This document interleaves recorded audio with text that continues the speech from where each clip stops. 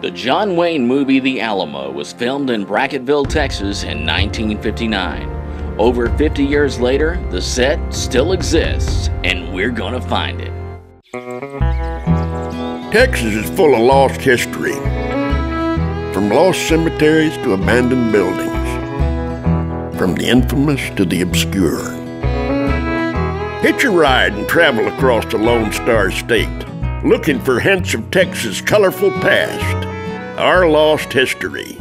This is Expedition Texas, and we're gonna find it.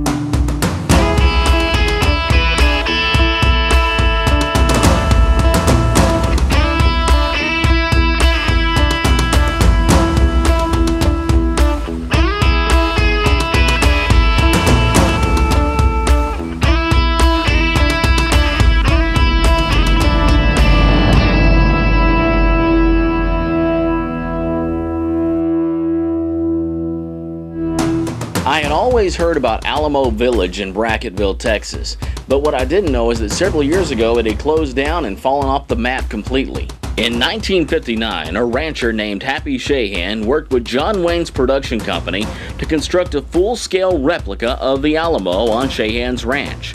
The set also included a three quarter scale replica of the rest of the Alamo compound, as well as a separate village to be used in the filming. The set would go on to be featured in dozens of well known feature films and to become a tourist attraction between projects. Happy Shahan died in 1996, leaving his wife Virginia to care for the property until her death in 2009. After her death, the property closed for good. The Shahan's son, Tully Shahan, still lives in Brackettville and agreed to share the story of Alamo Village with us. You got to go back to the early 50s. Uh, mom, mom and dad lived here, ranched here, uh, was in business here. And there was a lot of things that was going on in Hollywood at the same time. Republic Pictures, about that time in the 50s, mid 50s, they broke with John Wayne. Uh, Mr. Wayne broke off with Republic. He takes the the script rights to the movie The Alamo. Okay, he wanted. It was one of his dreams was to film the movie The Alamo. So he takes it with him, and, and then he sends a man uh, to Spain, and they start doing all this research. And from what everything Dad could find out was that they were going to film the movie in Mexico. So when uh, my dad and uh, the people found out about it, they started um, lobbying, I guess is a pretty good word, for that movie coming here or coming to this area. And then they came, you know, and came and started. They spent about a year, nearly a year here before they ever turned the cameras on. Right after the filming, uh, there were people that wanted to come see it. Mainly on Saturdays and Sundays is when most people would come. Yeah, in the summers, it averaged about 20,000 people over the summers. Johnny Rodriguez was in jail and Joaquin Jackson, a Texas Ranger from here, brought him over and said, Happy, this kid can sing. You need to help him. So, uh, Dad, for two and a half summers, he helped him out. And while they were here, Mr. Hall, Tom T, heard Johnny singing, and he was a Hispanic and and uh, had a great voice. And uh, he thought, man, this this kid might could sell a lot of records and be a star. So he eventually, Johnny eventually went to Nashville and started touring with Tom T. My dad, he promoted Alamo Village seven days a week. Wherever he was, if he was in a restaurant in Tyler, Texas or Odessa, he gave them a card and a brochure to come to Alamo Village. And when he died in 1996, that fire was lost. Uh, and mom tried to keep it going. As mom got older, uh, we, the, my two sisters and I, tried to get her to close it, uh, but she just couldn't do it. You know, their their world was pretty much around Alamo Village and promoting it and seeing it grow. And but uh, there needs to be another glow. There needs to be another dream that someone picks up, has got the money and the time uh, to carry it. You know. We met up with Tully Shahan at his office in Brackettville so he could show us the way to Alamo Village. When you come through the gate to go to Alamo Village while it was open, uh, you would pay your fee and they would give you a brochure. Okay. And then uh, that brochure, you would open it and it would show you uh, of all the buildings in the Alamo that was there. This shows you, of course, the legend and how, where all the buildings are and which, which uh, store, which uh, uh entertainment was in each building.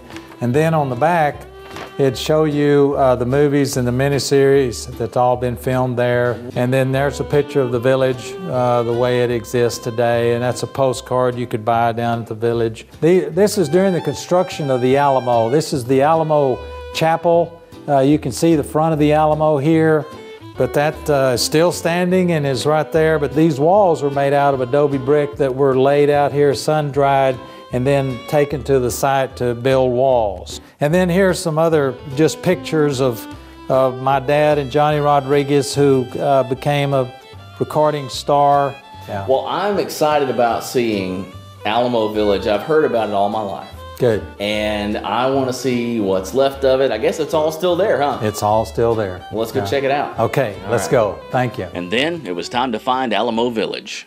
Oh, wow, so here it is, the Alamo. This is it. This is it.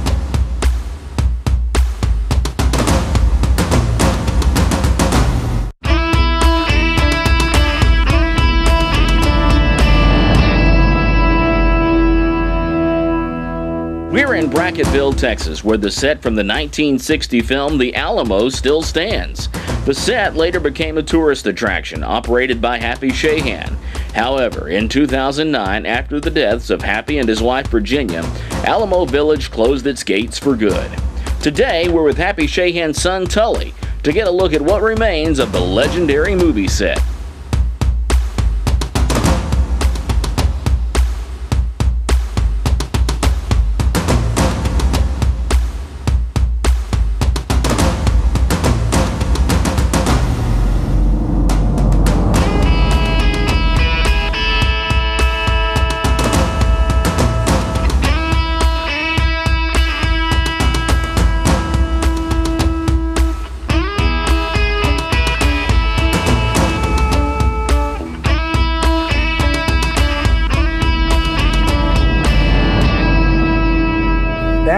Village, uh, we call the village, uh, that's where the San Antonio de Bexar was, uh, where uh, it was the city of San Antonio for the Alamo uh, in, in Mr. Wayne's picture.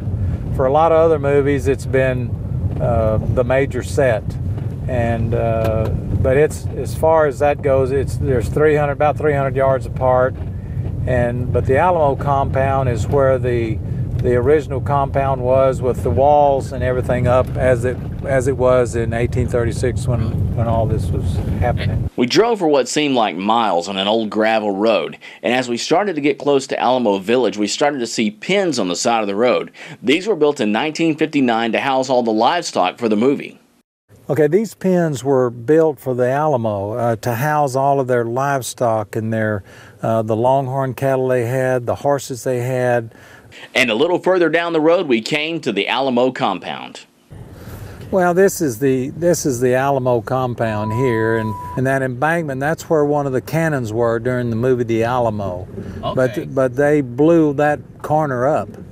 Uh, really? Yeah, that was all blown up in the movie The Alamo. Yeah, Bob, this is there. Uh, this is where a lot of uh, the movie The Alamo came through here wow, so here it is, the this, Alamo. This is it right wow. here. This is where it stands, you bet. Uh, that, that is the duplicate of exactly the replica in San Antonio. Really?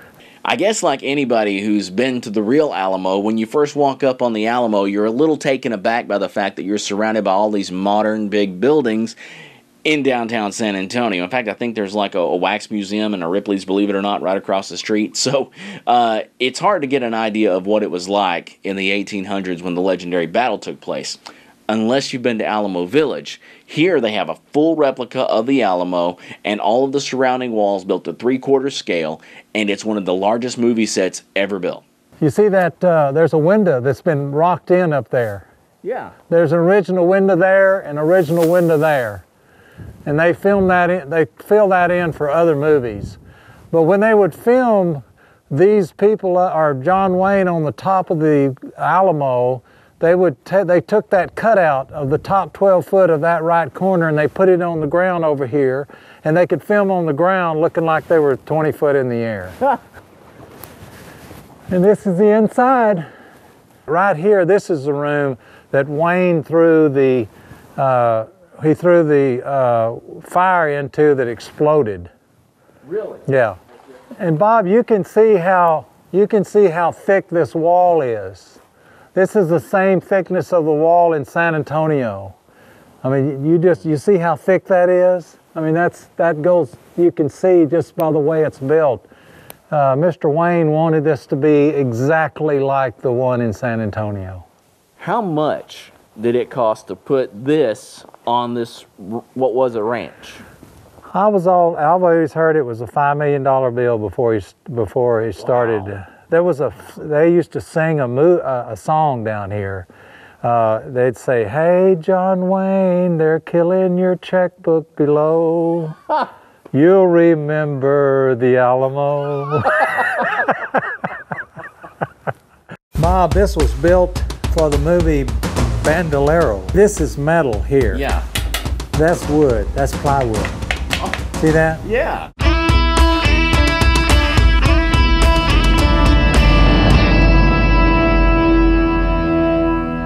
We're in Brackettville, Texas, visiting one of the largest movie sets ever constructed.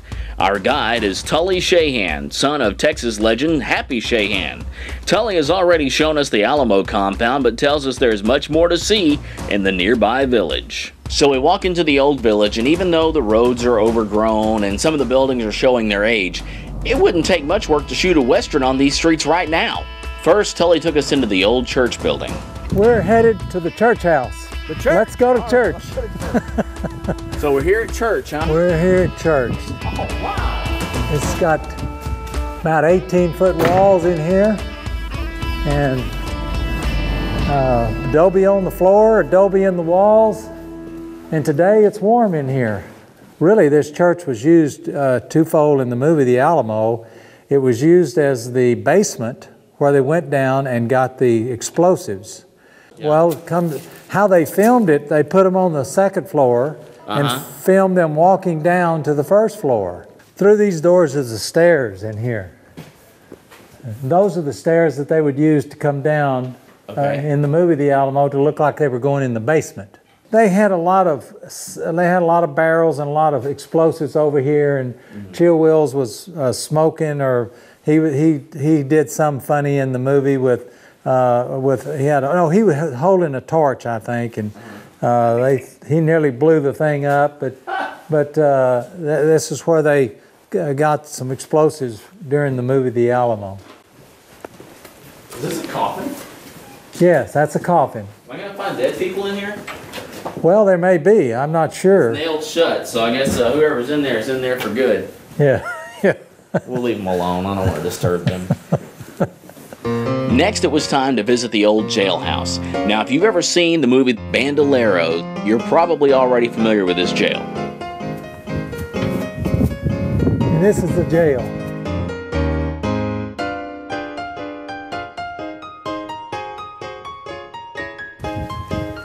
Wow! Bob, this was built for the movie Bandolero. And uh, Dean Martin was in here uh, with his uh, brothers and well, all the people that robbed the bank. And, and these things were, you can, you can see this is metal here. Yeah. That's wood, that's plywood. See that? Yeah. Yeah, and that, that, that's how they could cheapen things up. Of course, that's metal, Yeah. but this is plywood. And then they had an area, they had an area back here in this in this area where there is no. This is where they could put their cameras. Yeah. See, so they they constructed with the idea of, of filming movies course, back here. yeah. You know, the hanging gallows were outside this outside this window right here Yeah. and uh, they were all set up out there, and and uh, Dean Martin and them were all in here, and and uh, the gallows were out there, and Next, Tully started walking toward the doors of one of these little old buildings on the set and said, There's someone I want you to meet. I thought we were on a closed down tourist attraction slash movie set. I didn't know there was anybody out there. But it turns out there's a fellow there named Rich Kurilla who has been working at Alamo Village since the 1980s. And even though the village is closed, he continues to come out and work in his office on the set. Bob, I'd like for you to meet a fellow named Richard Kurilla, who's worked uh, here at the village for about 30 years, and uh, he's uh, got a degree in cinematography from Penn State University, and he's uh, he's really a wealth of knowledge about Really? Alamo Village. Hi, Richard. Hey, how are you? Bob Mullen. Hi, Bob. Nice to meet you. Nice to meet Nice you, to meet Richard. you. So I'm looking around and I see a lot of memorabilia in here. A lot of junk. and, Uh, yeah. and and he tells us this is sort of your haven. This is where Right, you uh, yeah. keep some uh, mementos from the films that have been made here. Mementos and plans and uh, just about everything at this point that I'm, I Great. get involved with in relation to Alamo Village. Do you mind showing us around a little bit? No, not at all. Where do we need to start? Start with that, since we've just been up there. Oh That's, uh, wow! that is the production designer uh, Alfred Ybarra from John Wayne's The Alamo and his first drawing of the Alamo Church wow. that So you just walked through. the, the date that we're seeing here, Would be uh, 1950, probably 57 or 58. right? Um, are, is this a cannonball? Oh, sure. It's a 24 pounder. It's a Yeah. little. you, you couldn't do this with a real one, I guess. This is actually from the new Alamo movie. This is from John Lee Hancock's film, which I was very much a part of. Really? And uh, it's one of my little mementos from the film, as, Great. as well as grape and canister and Huh. a couple other props. Wow. Now this one's this one's this one's very light. Yeah. so you're a, you're a real collector here. You got Well, let's say I'm a, I, I assimilate this stuff and Yeah. people give it to me. And you remember how your dad was? Everybody that came in had something for him, and he had all this. That's how it's sort of gotten here. But this is a pre-visualization. You never stop thinking about what the plans can be for the place, and uh, and we've certainly gone ahead with with some dreams and goals, at least on paper. Uh, but here, something I have done with this, particularly with the plan, is uh, the church and the hotel and the cantina would get restored to the way John Wayne and Alfred Ybarra originally designed them. Because every movie came in and changed things. right. This is a, the classic John Wayne photograph of the front of the Alamo and, and uh, his Mexican army on, on the hill in the background on the left, Yeah. and his whole cast and crew set up as the defenders of the Alamo. I'm glad we stopped by here. This has been very interesting. Thank well, you for showing pleasure. us around. My pleasure. This if I is can great. do anything else, holler. There's another cannon over there, made out of wood. People can't visit this anymore. I know. It's sad. It is sad. It's really sad.